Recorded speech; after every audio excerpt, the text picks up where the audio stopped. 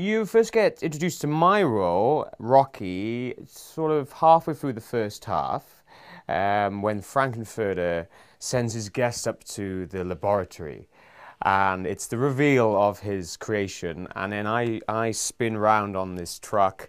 It's a great entrance, actually. I, I, I don't think I'll ever find an entrance like this again. I spin round and I'm born. Um, and I sing the song called Sword of Damocles, uh, dressed in leopard print pants. The hardest thing about playing Rocky, uh, I have to say, is keeping in shape.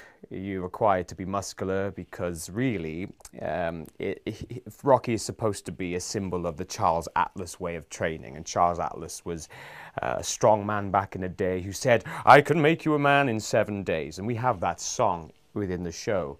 So I am the man.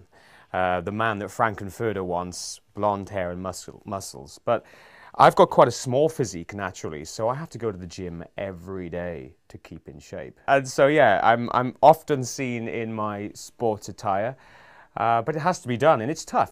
Well, I have a very easy makeup routine actually. All I do, I put a wig on, and um, there's a little bit of eyeliner, and I have to fake tan, as you can probably see. um, I've been tangoed, uh, but I, I actually travel around me a tanning booth which is so cool. I've got my own booth in my changing room.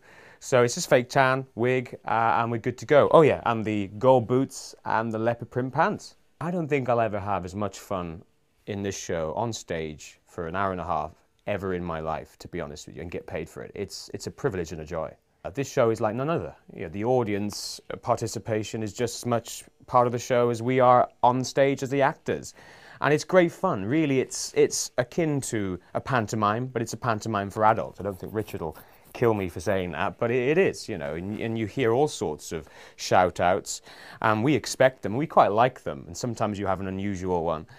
Um, which throws you a little bit. But actually, we're thrown more if the audience are quiet. The outfits are something to behold. I mean, eh, people dress up all shapes and sizes, all ages. They're wearing their fishnets, the boas, you know, the lippy, uh, the stilettos, of course. Um, and it's great to see everybody having fun. Um, some people come dressed as me as well. I see in the front row these guys with a one pack in their gold pants. I'm like, Congratulations, dude. It's winter in Scotland and you're just wearing that? You're brave.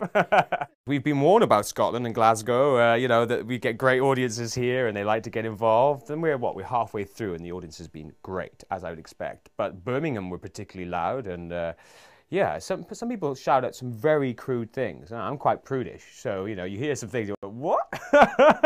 oh, my mum didn't hear that, but it's, you know, it's, it's liberating, you know, it's part of the show two weeks' time, we're at the Playhouse in Edinburgh. I'm only doing Monday, Tuesday, Wednesday, then I'm off on my own tour. Uh, but yeah, we're very much looking forward to uh, sporting our fishnets and boas in, uh, in Edinburgh.